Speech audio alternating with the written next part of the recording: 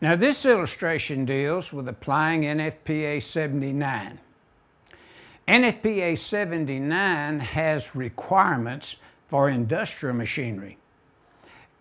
In other words, all the wiring inside the industrial machinery or related to that uh, type of equipment is NFPA 79. But notice the key standard of the NEC is Article 670 Special Equipment uh, industrial machinery is special equipment and has special rules. Now 670 simply designs, say, the overcurrent device in the equipment ahead of the conductors that supply the industrial machinery. And we go through the support rules, you know, we've done all that.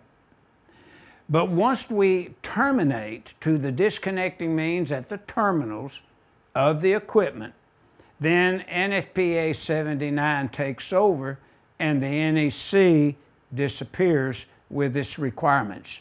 So this illustration 1-20 is pointing out that NFPA 79 pertains to industrial machinery. Now we also have a work on NFPA 79 that deals with the uh, equipment itself but we have also the NEC and designing uh, Stallcup's uh, design book that deals with uh, Article 670.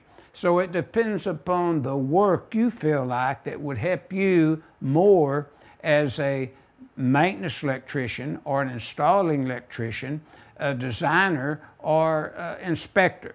So this figure 1-20 is bringing to the attention of the electrician that NFPA 79 deals with the industrial machinery itself, while Article 670 of the NEC routes with the means to provide the power and the components needed to provide power to the terminals of the uh, industrial machinery's disconnecting means, so forth.